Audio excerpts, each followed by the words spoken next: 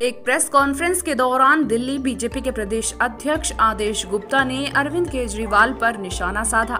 आदेश गुप्ता ने कहा कि खुद को ईमानदार बताने वाले केजरीवाल अपने भ्रष्ट मंत्री सत्येंद्र जैन पर आखिर मौन धारण करके क्यों बैठे हैं?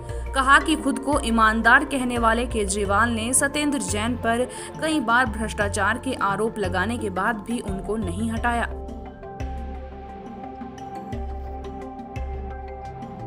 बीजेपी प्रदेश अध्यक्ष आदेश गुप्ता ने कहा कि जाँच में पाया जाता है कि सत्येंद्र जैन खुद कह रहे थे कि हवाला का सोलह दशमलव उनतालीस करोड़ रुपए उनकी कंपनी में पहुँच जाए। गुप्ता ने कहा कि हवाला का जो पैसा सेल कंपनियों में मांगते थे, उसे ज़मीन की खरीदारी में लगाते थे। कहा कि केजरीवाल को पहले ही पता था कि सत्येंद्र जैन भ्रष्टाचार में लिप्त हैं, पर उन्होंने कोई कार्यवाही नहीं की। लेकिन जब ईडी ने सत्येंद्र जैन पर कार्यवाही करनी शुरू की तो केजरीवाल आरोप प्रत्यारोप की राजनीति करने लगे।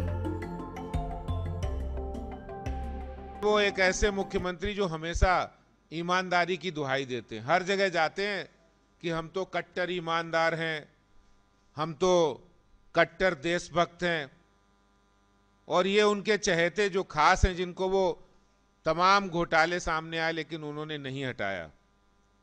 और जाँच के दस्तावेजों में साफ़ क्लियर हो रहा है कि सोलह दशमलव उनतालीस करोड़ रुपया जो उन्होंने हवाला कारोबारियों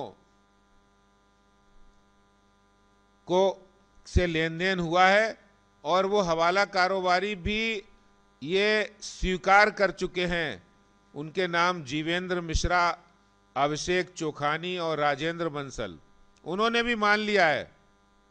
और इस बात का खुलासा इनकम टैक्स विभाग की जाँच में भी आया है कि ये पैसे का लेन देन सत्येंद्र जैन की जो फर्जी कंपनियाँ हैं, उनके द्वारा हुआ है।